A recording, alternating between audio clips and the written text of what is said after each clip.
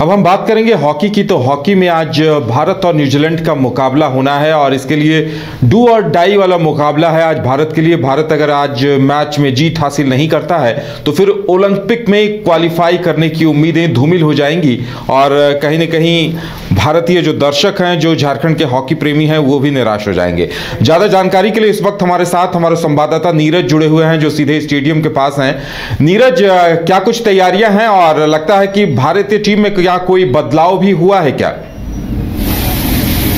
देखिए, साढ़े सात बजे मैच शुरू होना है और अभी तक जो है लाइनअप नहीं आया है। हालाँकि अगर बात की जाए तो रोटेशन सब्सटीट्यूशन होते रहता है, जिसमें लगातार सभी प्लेयर जो है आपको ग्राउंड पे खेलते हुए दिखाई देंगे।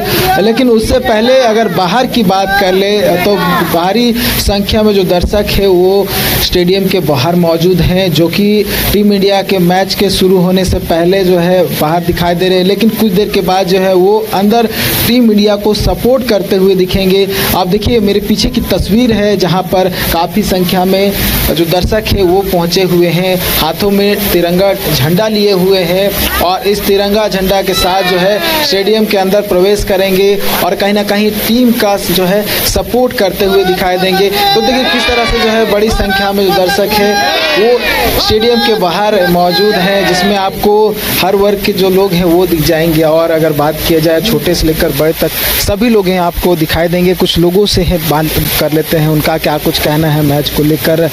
मैडम आप लोग कहाँ से आएँगे? हम लोग घीनू से आए हुए हैं और कल भी हम लोग मैच देखे थे बट आज थोड़ा मायूसी था कल का मैच देखने, लेकिन आज काफ़ी उम्मीद है।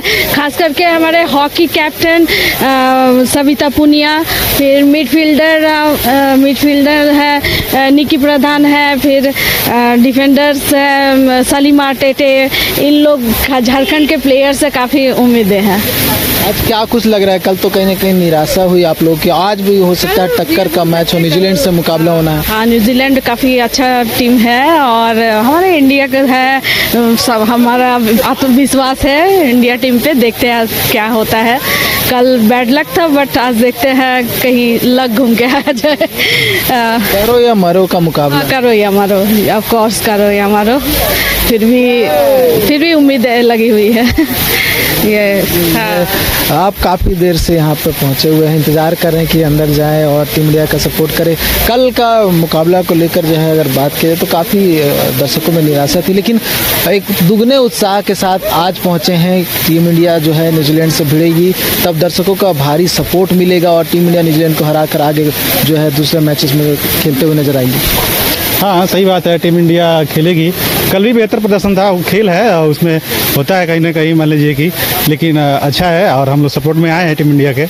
तो अच्छा है। और दूसरी बात यह है कि रांची में हो रहा है ये हमारा ओलंपिक क्वालिफायर। तो ये बहुत गर्व की बात है हम लोग लिए। तो बहुत अच्छी बात है। इंडिया है जीतेगा ही जीतेगा। भारत माता के! तरह से दर्शकों में उत्साह है। क्या लग रहा है आज के मैच में क्या होगा? न्यूजीलैंड जो कह सकते हैं टक्कर का मुकाबला देने वाली टीम जो है, और जब भी रिकॉर्ड की बात कर ले तो अच्छा रिकॉर्ड नहीं रहा है भारत का। आज का लगता है मुकाबला कुछ अलग होगा डिफरेंट होगा कल के मुकाबले से? कल का मैच हमने देखा। न्यूजीलैंड काफ़ी बेहतर प्रदर्शन किया अपने मैच में। काफ़ी हाँ बिल्कुल काफ़ी। तो काफ़ी अच्छी टीम है। आज उम्मीद करते हैं सभी दर्शक सभी मेरे घर के कि इंडिया को सपोर्ट करने आए हैं कि डेफिनेटली जीते और हम ओलंपिक क्वालिफायर करें। और हमारे लिए बहुत गर्व की बात होगी अगर आज मैच जीतती है तो इंडिया। तो परिवार के साथ पूरा जो टीम इंडिया का समर्थन वो देने के लिए पहुँचे। हाँ, बिल्कुल बिल्कुल हम समर्थन देने पहुँचे हैं। आज जीते जितना चाहिए बिल्कुल जितना चाहिए। और जिस तरह से यहाँ का अरेंजमेंट और जो झारखंड और रांची के लिए बहुत गर्व की बात है बहुत ही अच्छा लग रहा है हम सभी को। और इस तरह का ऑर्गेनाइजेशन होना चाहिए हमेशा।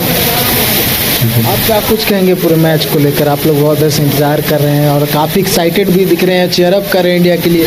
हम लोग चेयरअप हमेशा से करते हैं और इंडिया हमारी जीतेगी आज बिल्कुल जीतेगी और बहुत ही अच्छी अंकों से जीतेगी आज। कितना गोल होगा।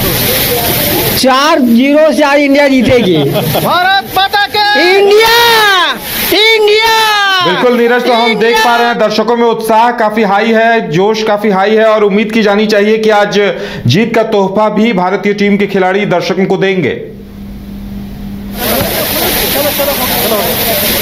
बिल्कुल उदय देखा आपने किस तरह से दर्शकों ने बताया कि किस तरह से जो है उनका उत्साह है और उन्होंने बताया कि किस तरह से कल का मैच रहा था लेकिन दोगुने उत्साह के साथ एक बार फिर से टीम इंडिया को सपोर्ट करने के लिए पहुँचे हुए हैं और आपने देखा किस तरह से उन्होंने कहा कि चार गोल होंगे किसी ने कहा कि और बड़े जो है गोल के अंतरों से टीम इंडिया जो है आज के मैच को जीतेगी और न्यूजीलैंड को कहीं ना कहीं जो परास्त करते हुए आपको जो जब मैच शुरू होगा तो बात कर लेते हैं कुछ और दर्शक हैं जो कि मैच देखने के लिए जा रहे हैं। कल का मैच देखा था आपने?